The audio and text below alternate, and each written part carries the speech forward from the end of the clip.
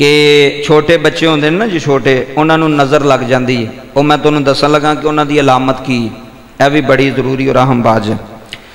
چھوٹے بچے نظر بد لگ جائے نظر جڑی ہے نا اے برحق ہے اے یہ حدیث بھی آیا ہے نبی پاک نے فرمایا کہ نظر لگ سکتی ہے کسے دا بھی بچہ تھوڑا بچہ یا کسے دا بھی چھوٹے بچے جدو نظر لگتی ہے نا وہ تین کام کردہ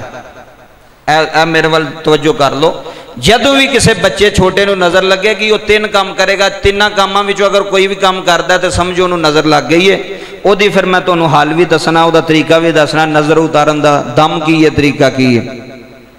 ای تھی کسی پیر کو جاؤ تو انہیں دو ہزار لے لوں دسن کا میں صحیح پہ آ جائے انہیں دم کر پیسے لے لے میں دم کیا ویسے پوتر آرام آیا تو ابھی تیری پہ دسنے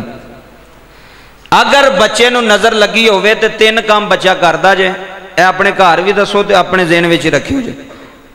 پہلے کام کی کرد ہے کہ بچہ اپنی نوزی نا اپنے نق کو رگڑتا یہ میرے والد ذرا توجہ کرو جس بچے نظر لگی ہو اپنے نک نگڑے گا وہ لال کر چڑے گا تو نال روے گال نک نگڑے گا جڑا بچہ اپنی نوزی نگڑے نک نلے بار بار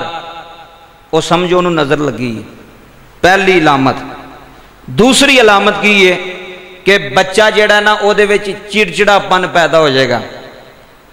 یہ چڑچڑا ہٹ نہیں ہوتی بچہ ایویں آدھا یار میرا بچہ بڑا چڑچڑا ہو گیا ہے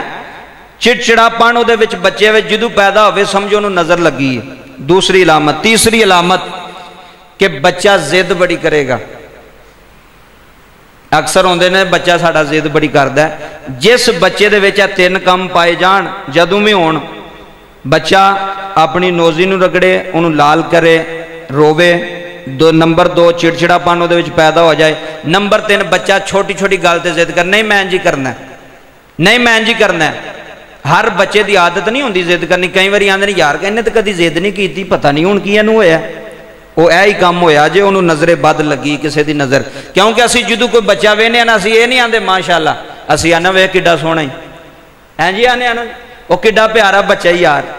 ویخے کا منہ کھا سونا ہی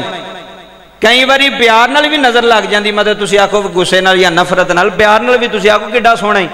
بندے کی نظر لگ جاتی ہے اس واسطے تین علامت اگر بچے پائی جان تو ایک کام کرنا کام کی کرنا